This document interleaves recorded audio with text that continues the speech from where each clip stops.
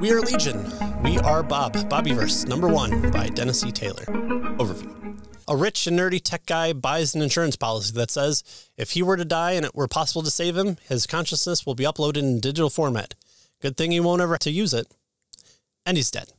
Upon waking up in the future, he's one of the few AI human constructs that hasn't gone psycho or suicidal.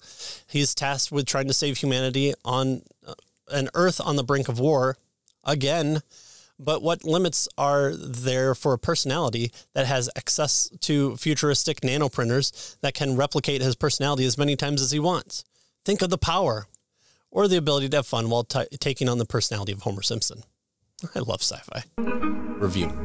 This is exactly what great sci fi is future tech, questioning the laws of physics, the human condition, and having an author who can wield it all in a good story with some great humor.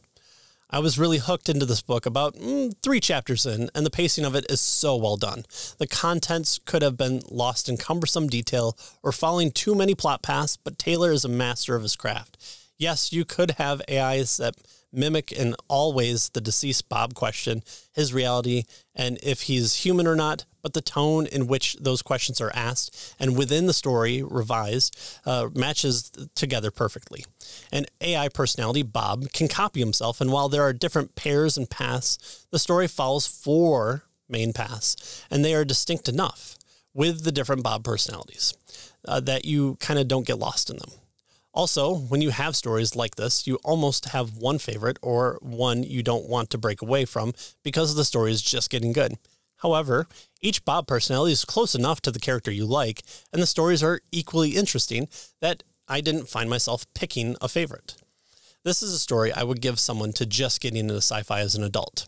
This was really a great premise, great writing, good humor. The choices made and the logic involved is believable, even within a, sci fi future setting. It was a good book uh, that I didn't uh, realize I was at the end of the book and immediately had to let the person who recommended to me uh, that I enjoyed it so much uh, that I picked up the others in the series and uh, looking forward to other writings by the author. I can't wait to start the next in the series. Final grade, A plus.